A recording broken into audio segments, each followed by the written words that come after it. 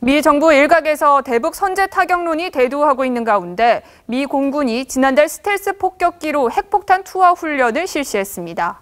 북한이 가장 두려워한다는 B2 스피릿이 동원됐습니다. 안영영 기자입니다. 하늘의 유령으로 불리는 미국의 스텔스 폭격기 B2 스피릿.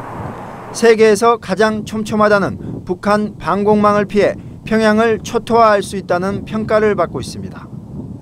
미 공군은 지난달 레바다주 사막지대에서 B2 폭격기 두 대를 동원해 핵폭탄 투하 훈련을 했습니다.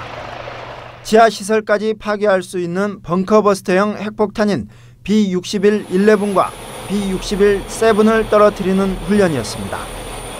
B-61 계열 핵폭탄의 위력은 340킬로톤으로 북한이 최근 실시한 5차 핵실험의 30배가 넘습니다. 폭탄 투하 훈련은 핵물질을 제거한 모이탄에 감지기와 기록 장치를 장착하는 방식으로 진행됐습니다. 미 공군은 무기 체계 성능을 유지하기 위한 것이라고 밝혔지만 대북 선제 타격론과 무관치 않다는 분석입니다. B-61 모드 11과 같은 북한 전용의 폭탄을 훈련에 사용했다는 점에서 결국 북한 정권에 대한 경고를 의미하는 것으로 볼 수 있습니다.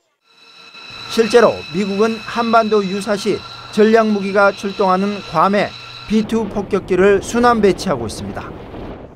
한편 지난달 5차 핵실험 이후 준국가 비상체제를 유지 중인 청와대는 주말에도 비상대기하면서 북도발 움직임을 점검하고 있습니다.